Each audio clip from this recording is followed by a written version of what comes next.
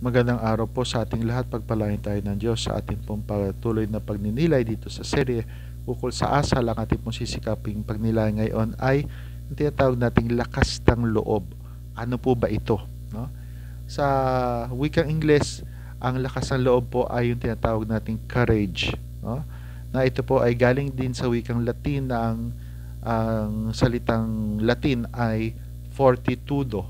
Fortitudo Ayon po sa talasalitaan ni na Lewis at Short, ang fortitudo po ay nangangahulugan ng lakas, tatag, tapang.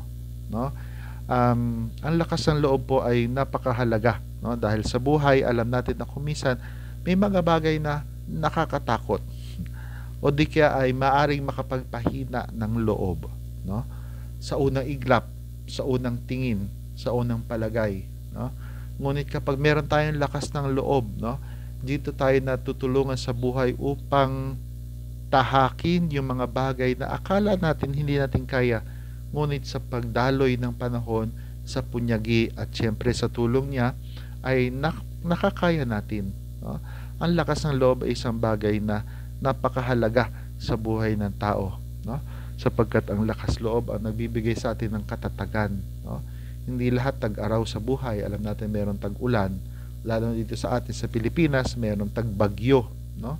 At uh, may mga unos, may mga sigwa, may mga iba't ibang mga pagsubok sa buhay na uh, dito ay nangangailangan ng uh, tapang, na nangangailangan ng lakas ng loob, nangangailangan ng tatag, no? Pagkapit, no, sa sa kung ano yung dating adhika, no?